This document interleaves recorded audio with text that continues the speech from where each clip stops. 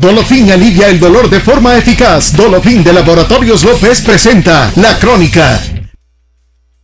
Bienvenidos a La Crónica, gracias a Dolofin. La fórmula de Dolofin te da un alivio rápido contra ese dolor de cabeza. Actualmente no hay señales de que Solskjaer sea destituido. Si ese sigue siendo el caso al final del parón de FIFA, la única pregunta será ¿por qué? Incluso si Solskjaer hubiera sido un entrenador exitoso, que no lo ha sido, Parece el tipo de situación en la que cualquier efecto ha desaparecido y es hora de un cambio. Este equipo necesita urgentemente una nueva dirección, así como una inyección de energía positiva. La opinión de fuentes cercanas al club es que los ejecutivos del United ya están conscientes de esto, pero esas mismas fuentes repiten lo mismo, que el United no tiene plan B. Simplemente no esperaban que le fuera tan mal a Solskjaer. Solskjaer ha sido el plan a largo plazo, digno de paciencia y confianza, aunque ya está claro que la idea no merece ninguna de las dos. Por lo tanto, han estado luchando para pensar en lo que sigue.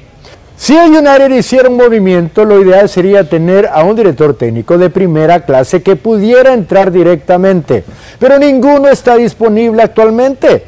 La falta de experiencia en el fútbol los ha dejado en una situación en la que todos sus principales rivales tienen a los mejores directores técnicos, tal vez los cuatro mejores en el fútbol en este momento.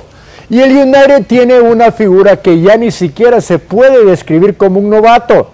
Es un entrenador de 48 años que no ha ganado nada. El United se apresuró a confiarle las amplias responsabilidades de un director técnico más veterano. La gran frustración para el United debería ser que todavía podría ganar algo esta temporada, tal vez incluso la Champions, con el director técnico interino adecuado. De hecho, se ha normalizado bastante la principal competición europea. Tres de los últimos seis ganadores de la Champions fueron nombramientos a mitad de temporada, que se suponía que eran soluciones a corto plazo. Tuchel con Chelsea, Flick con el Bayern, y Zidane con el Real Madrid. La opinión de los cercanos al equipo es que el United es un equipo tan carente de entrenamiento básico y estructura que cualquiera que ofrezca tal gestión tendría un impacto inmediato. Es lo que tampoco hay muchas opciones provisionales adecuadas disponibles en estos momentos. Zidane no tiene ningún interés por el momento. Después de eso, ¿quién está? Laurent Blanc, Carlos Quieros, alguien en el panorama internacional no hay una solución obvia, pero Solskjaer sigue siendo un problema obvio.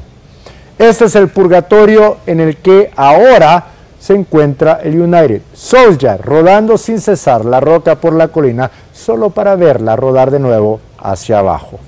Esto ha sido la crónica de hoy.